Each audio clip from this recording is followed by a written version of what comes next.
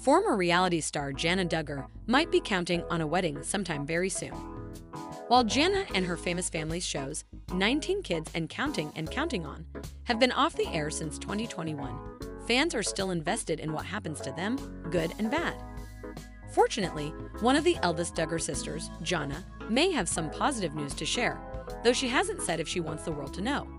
However, internet sleuths suspect she could have privately gotten engaged after a recent Instagram post. So, is Jana engaged?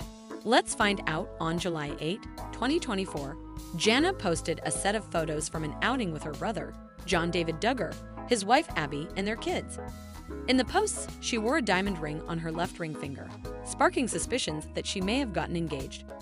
Many Instagram users took to Jana's comments to ask why she had a rock on her finger and who the lucky man was.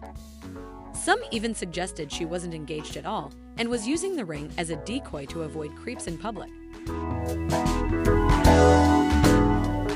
Jana eventually blocked comments from the post, but that didn't stop the discourse on other apps like X, formerly Twitter.